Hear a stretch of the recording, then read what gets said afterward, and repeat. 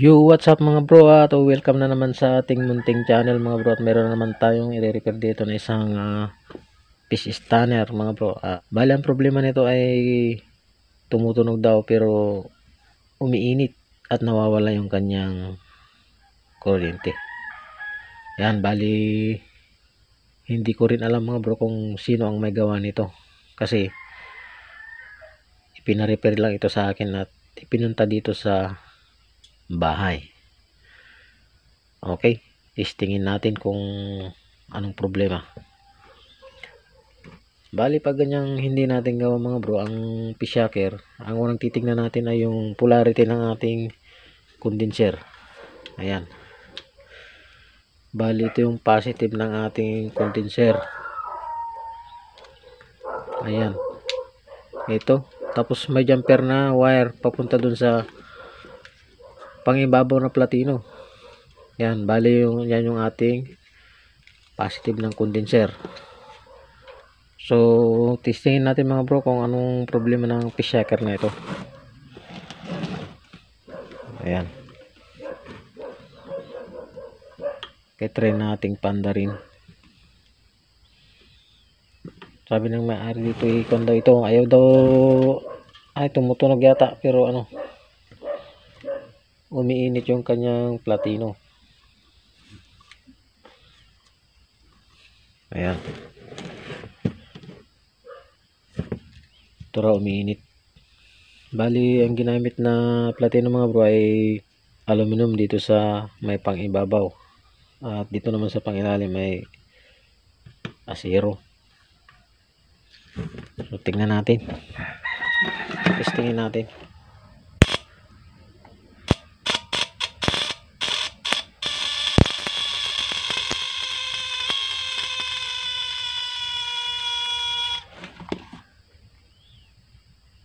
umiinit siya mga bro. Umiinit bali medyo magulo itong kanyang connection mga bro. At susubukan nating i-diagram. Baka mayroong kwan dito. May mali o may error. At tumutunog naman siya pero umiinit tapos nawawala daw yung kuryente Okay, diagram natin kung kwan. May mali yung kanya diagram. So, bali diagram natin mga bro para malaman natin yung kanyang connection. Gawa muna tayo ng pinaka i-core. Bali, ito yung nakalabas na i-core sa kanyang suman. Ito yung kanyang suman. Yan, bali kung din eh, nilagyan din nila ng epoxy.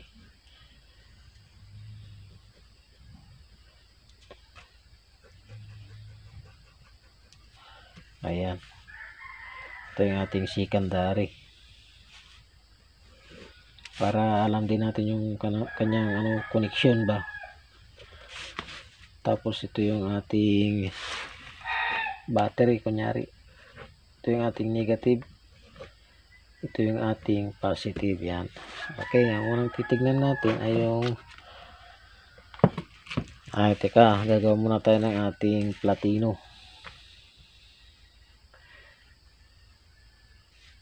Okay bali ito yung ating pang ilalim na platino.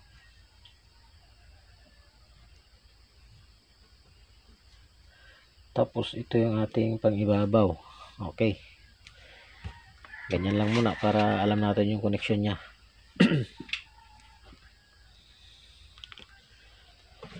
okay re-review muna natin yung kanya connection mga bro ah. baka may mali. So unahin natin dito sa kanyang ano yan sa primary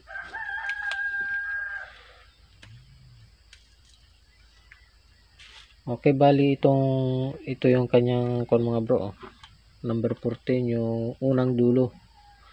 Papunta sa dito sa switch. Ayan. Okay, bali ito yung kanyang unang dulo mga bro. Punta siya sa switch. Ito yung switch niya.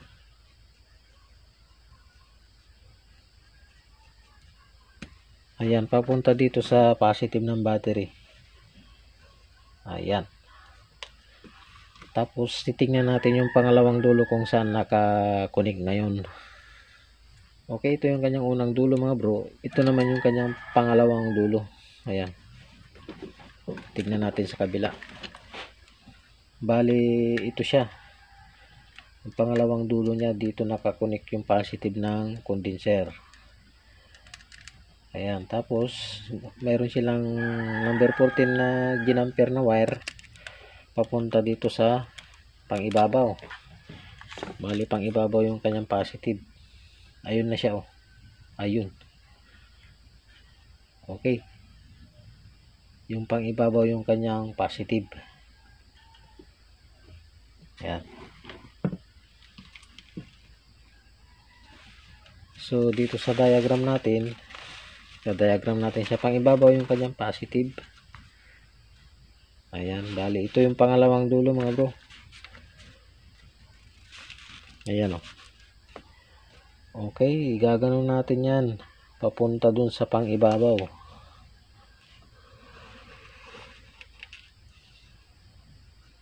Ayan. Ayun mga bro yung pangalawang dulo natin papunta dun sa pang ibabaw na platino yan yung review ng connection natin. Okay, tutuloy natin. Okay, susunod naman natin yung connection ng pangilalim natin. Dito sa kanilang fish shaker. Bali yung pangilalim natin mga bro ay kuan. Yun ang negative ng battery, yung pangilalim. I-connection natin. Yung pangilalim yun ang ating negative. Ito yung ating negative. Yan, yung sign na ganito mga bro, not connected ito ha, yung sign na ganyan, ganyan. Yan. Yan. Okay. Yung negative pala niya mga bro ay nasa pangilalim na platino. Ayun, top. Bali ganyan ang nangyari mga bro. Kunyari yung condenser natin. Ito yung positive niya ito yung kanyang negative yan. Ganyan. Bali ganyan yung connection niya mga bro. Ito yung negative ng condenser. Ito yung positive niya. Yan yung kanyang connection. So titignan na natin yung ibang mga connection niya. Okay bali doon sa pangilalim na platino mga bro mayroong kon dito oh. mayroong jumper dito papunta dito sa may butterfly na ito ito yung kanyang positive eh. Ayan, parang sa kwan ito sa rad. Galing dun sa pangilalim na platino yung kanyang rad. Okay.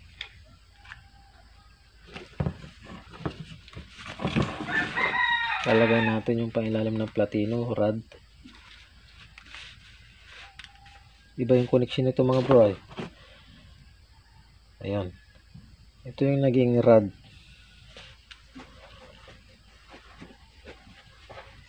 Ayan. Pero titignan natin mamaya yung resulta. Okay, mukhang natapos na natin yung kwa natin primary natin.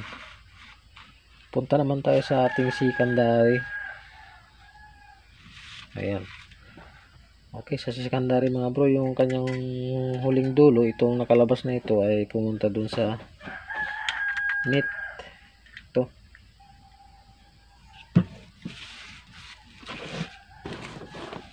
Pumunta siya dito sa net. Okay. Tingnan natin yung unang dulo kung kan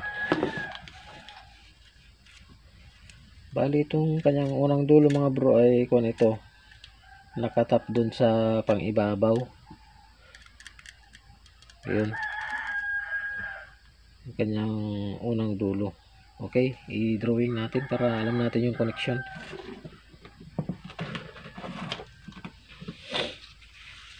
Yung kanyang unang dulo mga bro ay nakatap dun sa pangibabaw. Ayan siya. Oh. Ayan. Okay, ganyan ang nangyari. Ayan, yung diagram niya mga bro. Ayan. Pero ang problema, bakit nawawala yung kanyang kuryente kapag uminit na itong kanyang ano, platino. Ayan. Bali, re-review natin mga bro kung may mali. Ayan, so yung positive natin, dumaan ng switch. Unang dulo. Ng primary, yung pagka-rewind. Tapos yung pangalawang dulo niya pumunta dun sa pangibabaw na platino. Tapos yung negative natin, pumunta sa pangilalim na platino. Ayan, positive ng condenser, negative, tama naman. Tapos yung rod. Okay naman mga bro yung kanyang diagram, nakatap lang dito yung yung kanatin. Yung unang dulo natin ay nakatap dito sa pangibabaw na platino, yung ating secondary. Pero ang problema, umiinit at nawawala yung kanyang kuryente. Ayan. Bali, ang i-check natin dito mga bro, yung kanyang condenser. Baka sira itong kanyang condenser. Okay, check natin yung kanyang condenser. Ganun lang gawin nyo mga bro kapag ka, ano, hindi nyo gawa yung aparato. check nyo yung kanyang connection. Para makakuha ba kayo ng idea ba? Okay, para makasigurado tayo na may check tong kanyang ano, condenser eh, ihiwalay natin din dito sa kanyang connection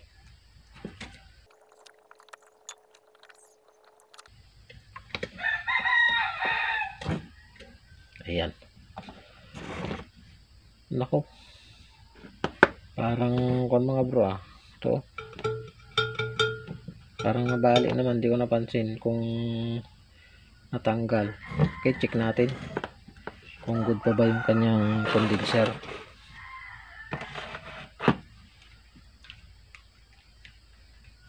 Lalagay natin sa ano mga bro? 1k ayan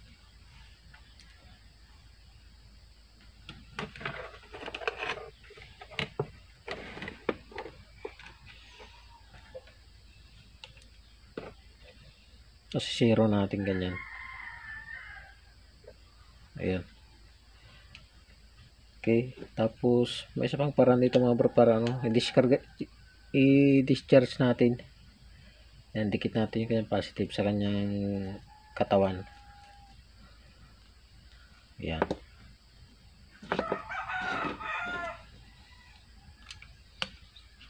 okay check natin kung good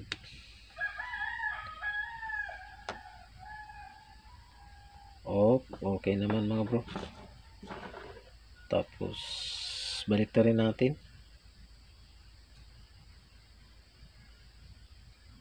Okay naman wala pang leak.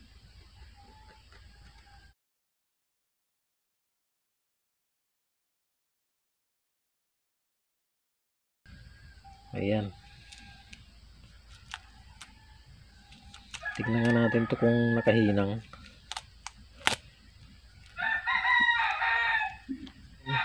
bali pagka ganyan mga bro hinangan natin para makasigurado tayong hindi mag-lose itong natin condenser natin. Kasi pagka bumitaw ito dun sa pagka-connect dun sa platino natin may posibilidad na iinit yung ating platino. Pagka kuan ito lang ang sumasalo ng init mga bro pagka hindi maganda yung pagka-rewind natin o kulang tayo sa, sa winding pag uminit yung platino natin.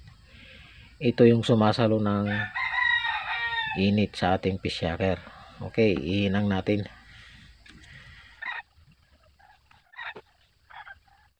Okay, bali naihinang na natin mga bro. Lagyan na natin ng electrical tape.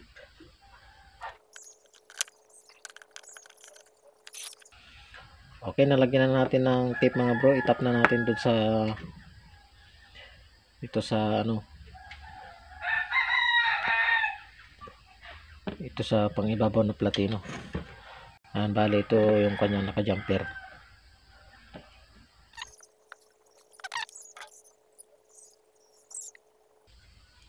Ayan.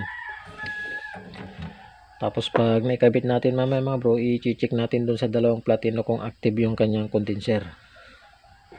So, ihinang natin ito mga bro para hindi siya mag-loss. Baka sa mga gumagawa mga bro at hindi nagkiklik yung mga gawa, check nyo yung mga connection nyo. Baka may mali sa connection ba. Yan. Pag tama naman yung connection nyo at ayaw tumunog, check nyo yung mga joint sa mga bolt baka hindi nyo binalatan yung magnetic wire hindi nyo tinanggal yung kanyang varnish. Okay naikabit na natin. Susubukan natin testingin ngayon kung iinit pa yung kanyang platino o hindi na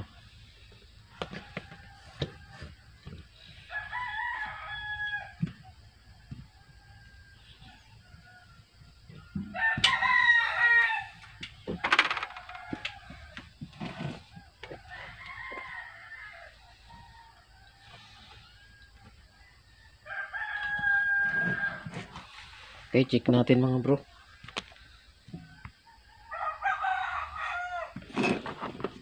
Kung iinit pa siya.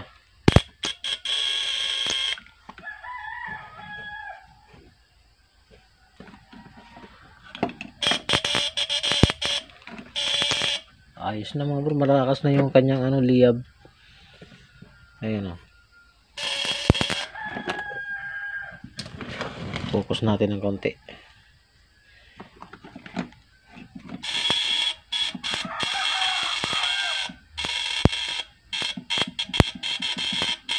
Okay na. Check natin mga bro kung ilan yung voltage na lumalabas sa kanya. Set natin yung ating multimeter sa AC 1000. Yan. Ay, ayaw ko palang i pagka kung na mga bro. Pag nakatap dito sa may platino yung secondary, huwag nyong titistingin sa tester. Ayan, masusunog yung tester natin. Ayaw kung kung mga bro. Baka mati baka baka masunog yung multitester ko. Naka-tap siya doon. Basta check na lang natin dito sa kanya. Secondary kung mayroon na siyang output. So lagyan natin ng wire dito sa output niya mga bro, itong dalawang bolt na ito.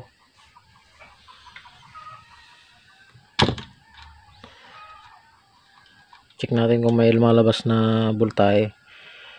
Saka bago nyo testingin yung kuryente mga bro, pagka testingin sa ilog, check nyo kung may voltahe yung output nyo.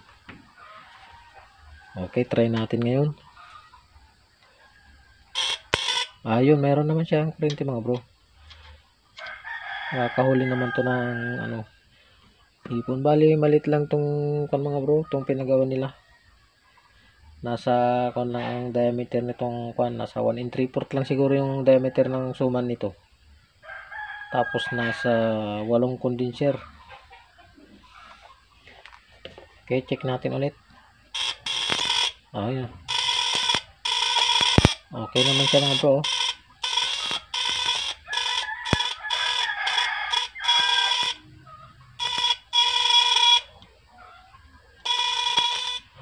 Okay naman siya.